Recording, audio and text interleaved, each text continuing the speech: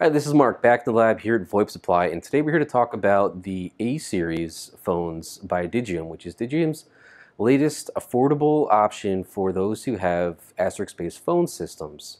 There's four of them, and they all have a lot of similarities, but there's a couple of interesting differences that we're going to talk about. Let's look at the first two phones in the offering, the A20 and the A22. Let's take a look.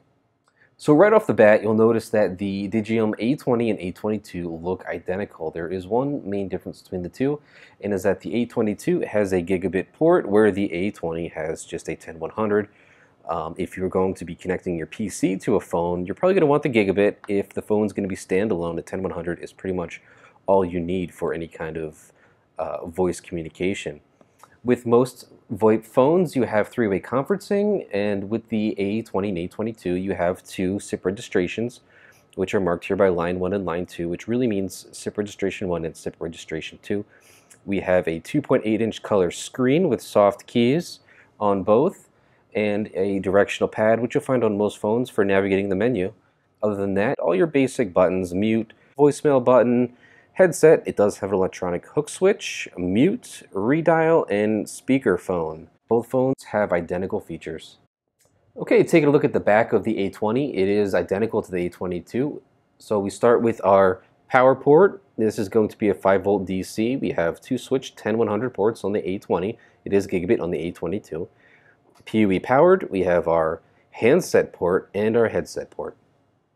The middle range of the Digium A series is the A25, which also gives you gigabit ports just like the A22, but there's a couple of extra features here. We see prominently the BLF screen. There's six keys here, and you can have up to 30 contacts, and you can also have four SIP registrations.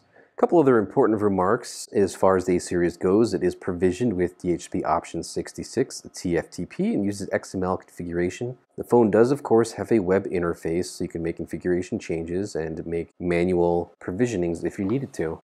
Moving on to the top of the line of the Digium A-Series phone, the A30 has a 4.3-inch color screen, which is quite a bit larger than the 2.8-inch on the other models. Also, you can have up to six SIP registrations and does sport a couple of extra feature keys.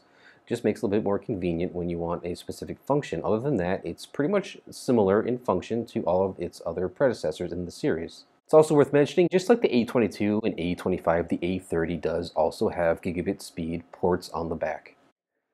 And that's the Digium A series phones. They're very attractive, professional looking phones that are built again specifically for Asterisk. If you're in the market for phones just like these and you have an Asterisk phone system, you can pick these up at VoIPSupply.com. Once again, I'm Mark here in the lab at VoIP Supply. And remember, all we are is VoIP in the wind.